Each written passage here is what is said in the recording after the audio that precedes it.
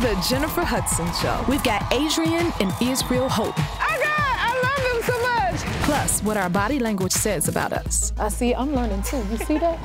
Then grab a tissue. Ooh, that almost took me out. And experience the most beautiful reunion. Friday at 10 on WBNX.